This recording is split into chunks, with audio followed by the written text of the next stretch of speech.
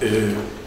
mi nombre es Roberto Aguirre, yo soy el jefe del Departamento de Colecciones Digitales de la Biblioteca Nacional. Eh, para la Biblioteca Nacional, todo lo que tiene que ver con la digitalización de sus colecciones y además la incorporación de nuevas colecciones que ya llegan a la biblioteca en formatos digitales, eh, es un es un desafío bastante importante. Nosotros empezamos a digitalizar el año 2000, eh, o sea, ya llevamos más de 14 años digitalizando nuestras colecciones, tenemos nuestro sitio web de contenidos que es Memoria Chilena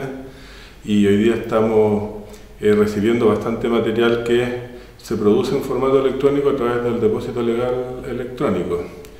Eh, para nosotros todo el desarrollo digital ha sido una manera de poder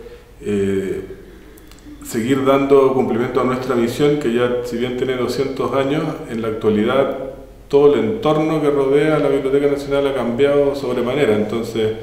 eh, nuestra misión nos obliga a, copiar el material, conservarlo y ponerlo a disposición de la comunidad. Hoy día la información se produce en formatos digitales,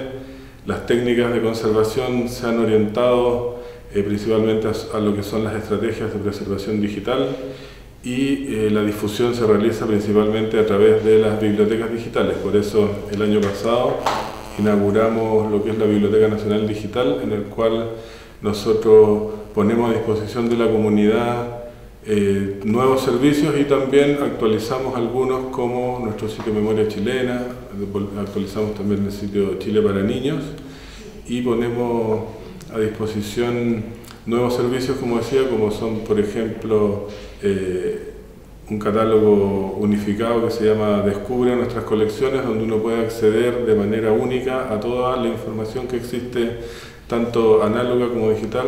al interior de la biblioteca. Tenemos nuestras salas virtuales, donde la gente, sobre todo que está más geográficamente más aislada, puede conocer nuestro edificio patrimonial.